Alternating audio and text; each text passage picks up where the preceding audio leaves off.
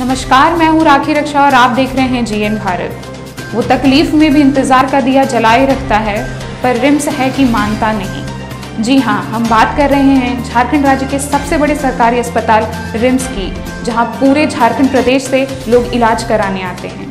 जिस उम्मीद की डोर को लेकर लोग इलाज कराने आते हैं, रिम्स की असुविधाएँ उन डोरों को काट कर उन्हें बदहाली में रहने को मजबूर कर देती हैं। मिल रही जानकारी के अनुसार रिम्स के न्यूरो वार्ड में तेरह मरीज़ ऐसे हैं जो पिछले एक महीना से सिया मशीन के ठीक होने का इंतज़ार कर रहे हैं।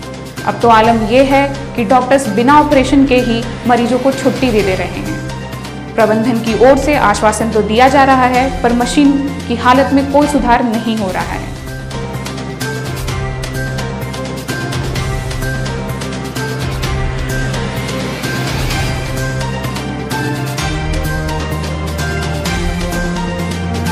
ज्ञात होगा कि रिम्स की बदहाली पर झारखंड हाईकोर्ट ने स्वतः संज्ञान लेते हुए रिम्स को फटकार भी लगाई थी।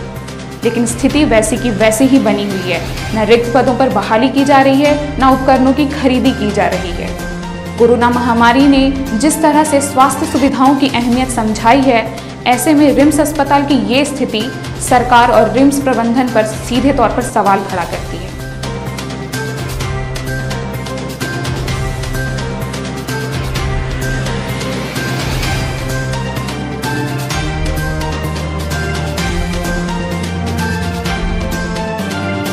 अगर आपको हमारा यह वीडियो पसंद आए तो इसे लाइक करें, हमारे चैनल को सब्सक्राइब करें और जुड़े रहें जीएन भारत के साथ। धन्यवाद।